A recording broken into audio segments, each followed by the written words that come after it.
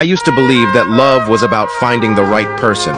But in reality, love is about becoming the right person. Instead of trying to find the right one, you should try to become the right one. This transformation not only leads to a deeper connection with yourself, but also opens the door to a love that's authentic and enduring. Love isn't a destination. It's a journey of growth and self-discovery where becoming your best self is the key to finding and nurturing meaningful relationships. So, embrace the process of self-improvement and let love naturally follow the path you create within yourself. Once you finish your journey on finding out how to love yourself, you will be able to form a deeper connection with your partner.